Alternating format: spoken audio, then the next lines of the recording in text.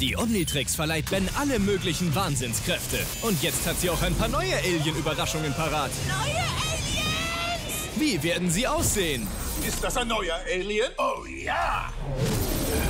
Und welche unglaublichen Kräfte werden sie haben? Daran muss ich mich erst noch gewöhnen. Findet es selbst heraus in den neuen Folgen von Ben 10. Montag bis Freitag um 19.50 Uhr. Nur bei Cartoon Network.